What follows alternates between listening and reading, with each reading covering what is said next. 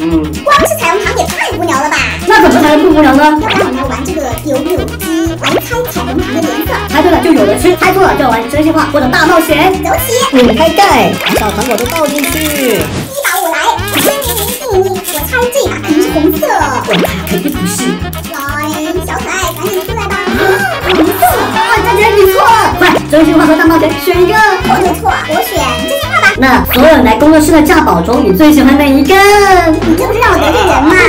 反正是你自己选的真心话，快点说。每一个来工作室的小价宝宝我都很喜欢，但其中有一个五岁的宝宝印象特别深刻，因为他模仿我模仿的惟妙惟肖，连搓泥玩泥的动作都一模一样。该你了，我选择的肯定是橙色、橙色，橙色，出来。绿色。你也猜错了哦。想不到扭扭机这么难猜颜色。快说真心话还是大冒险。真心话，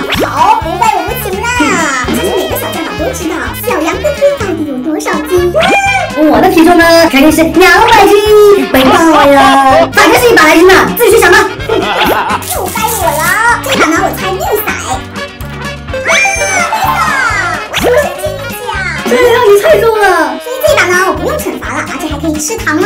下把我一定要中。好甜。我要猜蓝色，中蓝色，蓝色啊！黑色，你说想要什么惩罚？大冒险这么可怕，我当然喜欢大冒险啦。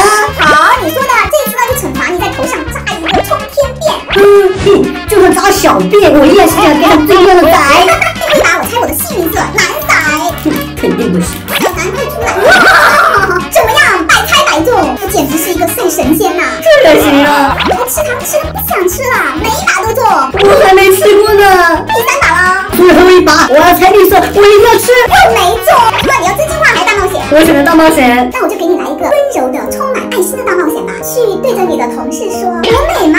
小度穿着的眼睛不美吗？对。